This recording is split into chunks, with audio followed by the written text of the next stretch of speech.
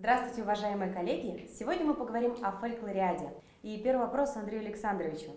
И все-таки она состоится? Она состоится. Скажите, как будет обеспечена безопасность участников и зрителей фестиваля? Вы знаете, Ксения, у нас э, такое масштабное мероприятие мирового значения в области фольклора проходило очень давно, и э, вот эта фольклориада, она, безусловно, очень важный проект для нашей страны, поэтому был создан Федеральный организационный комитет, э, в состав которого вошли представители э, всех необходимых структур, в том числе Министерства внутренних дел, Росгвардии, э, Министерства здравоохранения, поэтому поэтому а, все вопросы безопасности, в том числе медицинской, э, решены на самом высоком уровне, и все меры будут приняты для того, чтобы наши гости, которые приедут к нам в Россию, чувствовали себя как дома в полной безопасности. Назовите, пожалуйста, три неординарных причины, почему стоит ехать в июле в Уфу и где можно будет посмотреть на участников и посмотреть их выступления? Ну, во-первых, э, одна из причин э, в одном месте можно увидеть многообразие культур практически э, большинства стран нашего мира. Это э, вторая причина. В сегодняшней ситуации мы не можем выехать за границу, поэтому э, зарубежные гости приедут к нам, и мы сможем стать свидетелями, опять же, их замечательных выступлений. Ну и третья причина — это сама Республика Башкортостан, ее замечательное природное, и историческое и культурное наследие. Э, я думаю, что это замечательный шанс, чтобы познакомиться не только с культурами разных народов мира, но и с самой республикой. Одним из критериев ехать или не ехать на то или иное событие является наличие хедлайнеров, звезд мероприятия. Будут также приглашенные какие-то известные личности, в том числе российские или зарубежные, э, ради которых тоже можно будет поехать в Башкортостан? Э, конечно, Ксения. Вы знаете, у нас э, сама фольклориада пройдет с 3 по 10 июля, но уже с 4 по 10 июля начнет работать главная сценическая площадка фольклориады, которую мы назвали «Сердце фольклориады». И каждый день там а, будут э, проводиться представления разных стран, но в заключении каждого концертного дня на сцену будут выходить обязательно хедлайнеры. Э, и на сегодняшний день мы ждем э, на фольклориаду и Надежду Бабкину, и Пелагею, и Манижу, небезызвестную участницу Евровидения. Есть и зарубежные хедлайнеры, такие как Эмир Кустурица, монгольская группа Заху, э, есть замечательный коллектив из Ирландии. Поэтому программа обещает быть очень и очень интересной. Это удивительно и здорово. Я думаю, действительно, это будет большое событие не только для Башкирии, но и для всей нашей страны. Насколько мне известно, подготовка к фольклориаде заняла несколько лет, и тем более ее пришлось и отложить на год, да, из-за вот эпидемиологической ситуации. Вот скажите, какие новые компетенции дала вам, дал вот этот опыт подготовки такого масштабного, громадного мероприятия? А, ну, вы знаете, э, на самом деле мы готовились к фольклориаде с 2015 года, после того, как в Перу э, Ассамблея СИОФ Международной организации Совета фольклорных фестивалей проголосовала за э, проведение следующей фольклориады в России. С этого времени мы начали подготовку. А, что касается новых компетенций, э, безусловно, огромный опыт лично я получил э, в общении с представителями разных стран. Я понял, как выстроить правильно процессы пересечения границ, э, визовые процессы. А, само по себе общение с э, нашими коллегами из-за рубежа, оно обогащает, потому что ты поэтапно, постепенно знакомишься с культурой, манерами общения той или иной страны, поэтому, безусловно, весь этот опыт, он очень интересен и ценен для меня лично. Скажите, пожалуйста, дипломатия и международный этикет для организаторов – что точно нельзя делать при организации таких вот международных больших мероприятий, культурных событий? И что важно и часто забывают при подготовке учесть организаторы? А, ну, вопрос такой непростой. Я, наверное, не смогу сейчас сказать, что точно не нужно делать. А, конечно же, а, каждая страна, она уникальна, и у каждой страны есть свой уклад жизни, своя культура, свои правила, обычаи и традиции.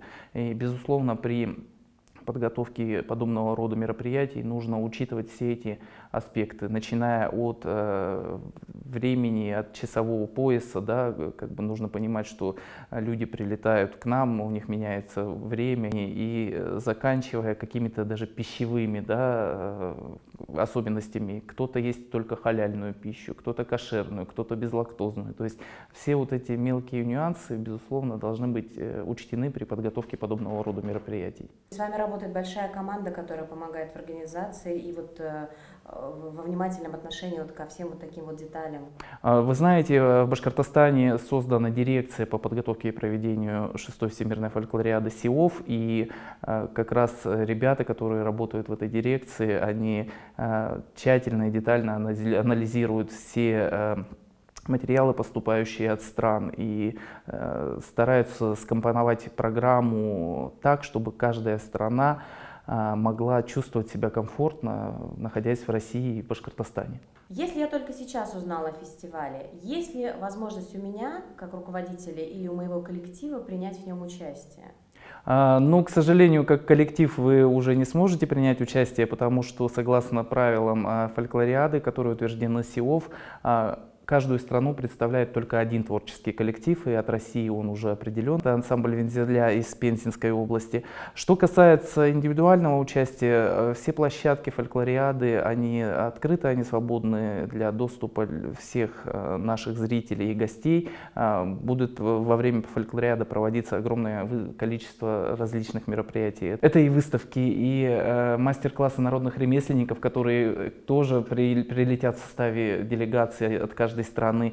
Это и э, различные концерты на площадках, где вы сможете э, насладиться творчеством наших гостей. Ну а если у вас есть желание более глубже погрузиться в э, процесс подготовки и проведения этого мероприятия, вы можете зарегистрироваться в качестве волонтера на сайте добро.ру и уже стать непосредственным участником всего процесса. Ну, я понимаю, что состав участников уже определен, но вот на будущее, если мне захочется э, там, на следующей фольклориаде представлять э, свою страну, что, какой процесс, э, какие критерии отбора? А, в первую очередь вы должны обратиться в Российскую национальную секцию СИОВ, которая находится в Государственном Российском доме народного творчества, и заявить о своем желании принимать участие в следующей фольклориаде.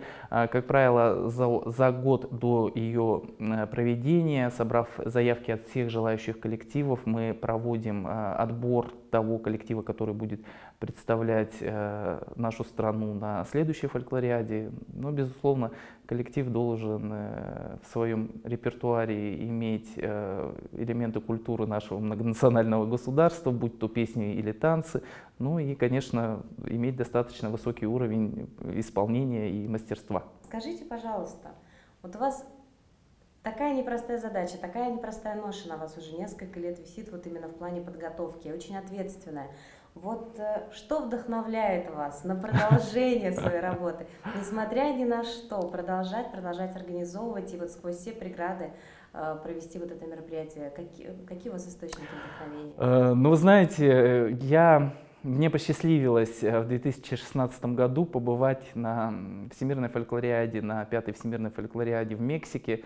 Э, в штате Закатекас. И вот э, те эмоции, которые я пережил там, находясь в течение недели от общения э, с коллегами, друзьями из разных стран, на самом деле, наверное, они являются для меня таким флагманом в дальнейшей работе. Я хочу, а, чтобы э, подобные эмоции также испытали те люди, которые приедут к нам в страну и смогут снова встретиться уже в России, в Башкортостане, потому что на самом деле очень многие коллективы дружат между собой, они знают уже друг друга долгие годы, и вот эта встреча, когда они все наконец-то прилетят и смогут э, несмотря на все сложности, которые у нас существуют на сегодняшний день, лично пожать друг другу руки, обняться, да, и пообщаться, ну, наверное, вот это один из таких э, манков для меня, который мне вдохновляет для проведения всей этой работы. Я благодарю вас за такой прекрасный разговор, очень много полезной информации. Мы все ждем июля и фольклориаду в Уфе. Я думаю, для всех для нас это станет большим праздником.